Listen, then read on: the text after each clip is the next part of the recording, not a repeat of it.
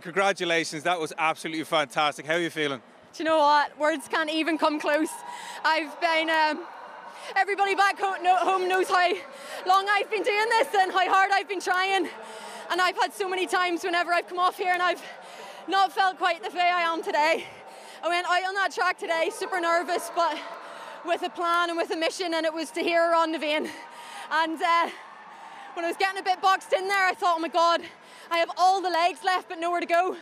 I didn't grow up playing camogie to get boxed in though, and uh, look, I want to thank everybody, everybody who has helped me get here today to win my first senior gold medal for Ireland, to be at the top of the podium, to hear our national anthem, and to show World Athletics that the Irish are here, and we are we're here to show where we belong. Absolutely. You mentioned Camogie. Your mum texted me to say pushing through like Camogie. And I know she's not here, okay, but she texted me earlier on saying she had everything crossed, the candles were lit, and she's pacing up and down the sitting room. Will you please just say, Mum, we did it? Mummy, Daddy, everybody at home, I love you to bits. Thank you so much for everything. we did it!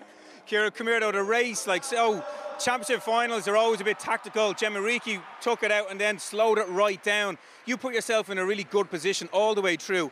And then the last 120 metres, it was almost like, uh oh, there's nowhere to go. What was going through your head?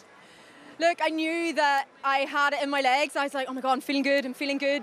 Um, it often opens up, and I was telling myself not to panic because if you put the brakes on and try to come back, you know yourself, sometimes that really hinders while you're running. Um, and I was like, I'm getting a gap, I have to get a gap.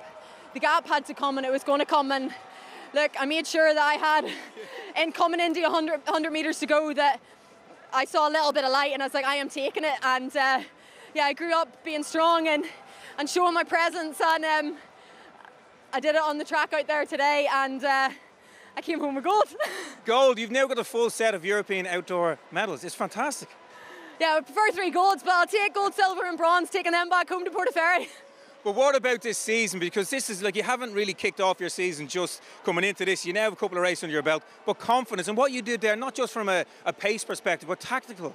All that tactical news, that confidence that you have, you must be looking forward to what's going to come down the road. Do you know what? I really am. I don't feel like I'm the polished item out there yet. It's only the beginning of the season, and everybody knows we have much bigger goals coming in August. So I feel like I'm just at the beginning of where my shape can be. I knew coming in here I was in good shape, but had a bit of a rocky month coming into this. Um, but you know what? It's a lesson in life. Not everything can be perfect. It's about how resilient you are and how much you want it.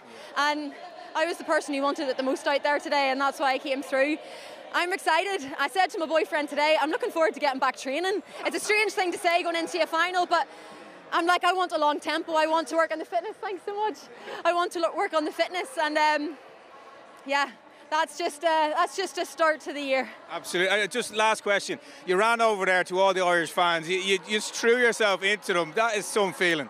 Look, I I said I, I tweeted after the guys had their relay victory that nothing comes close to the Irish support you look around this stadium and there's always tricolours and everywhere they're flying it gives me such a lift and it gives all of us Irish athletes such a lift. To know that these people are, are spending their hard-earned cash to come and watch us and to cheer us on.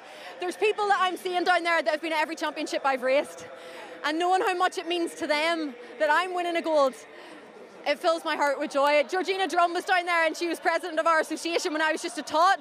And um, seeing her today with tears in her eyes, thinking back to when I won a wee, a wee Ulster All-Star type award for, for athletics back in the day. These are the people at the grassroots that give us every chance to be here. And if it wasn't for those people, I wouldn't be able to represent my nation at the highest level. And they're the people that are there week in, week out, rain, hail or shine in, in Ireland. They're the people standing at the side of a track with the non-glamorous jobs, not like here today.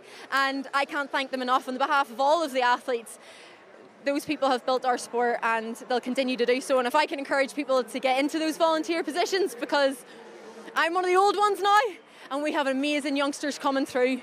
So uh, to all of the fans and to all of our support out there, thank you. Yeah, and this look, is your medal. and look, you've gonna, you're going to motivate and inspire so, so many to get involved in athletics. Enjoy that podium. You deserve it. Thank you so much. Thank you.